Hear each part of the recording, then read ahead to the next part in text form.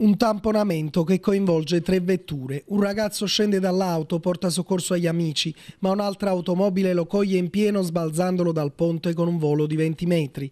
Così è stata spezzata la giovane vita di Edoardo D'Alessandro, 20 anni, rimasto vittima del sinistro domenica mattina intorno alle 5 sulla statale 7 Quater facente parte della Domiziana. L'incidente tra gli svincoli di Villa Literno e Castelvolturno in direzione Mondragone. Non è bastato il pronto intervento dei vigili del fuoco che lo hanno trovato privo di vita circa un'ora dopo l'evento.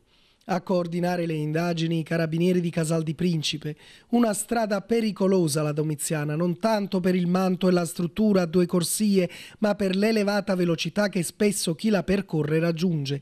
A farne le spese questa volta un giovane di Mondragone, per lo più nell'atto di aiutare altri automobilisti, amici. La magistratura inquirente ha intanto ordinato l'autopsia sulla salma di Edoardo, trasferita dopo i primi rilievi nell'ospedale di Caserta.